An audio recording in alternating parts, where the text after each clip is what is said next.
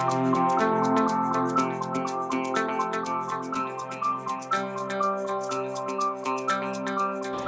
the first video, we talked about committing our friends to God in prayer, praying for them regularly. Here's another idea for talking with people who seem very closed off.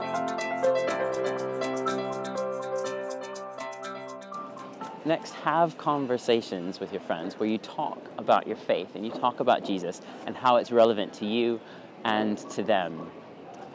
You are a Christian. It, you should, it should be expected that you should talk about Christ.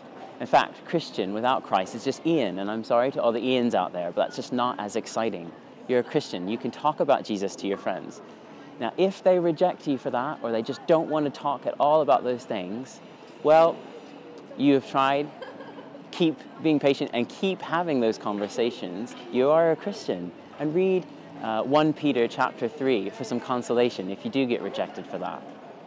And also keep in mind the gospel as you're having conversations and think about how it's relevant to people's lives.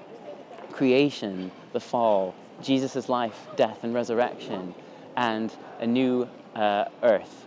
How is that relevant to what people say? Let me just give you a quick example.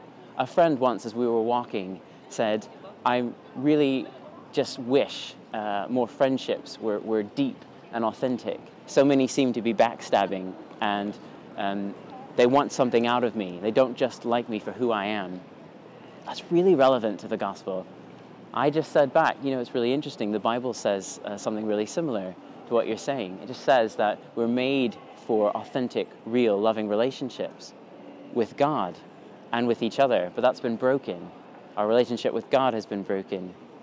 And so that is what we see as a result of is this um, desire for deeper friendships that aren't always fulfilled.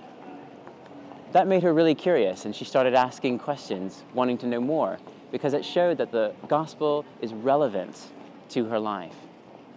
So we need to be having conversations and not afraid to talk about our faith and to talk about Jesus.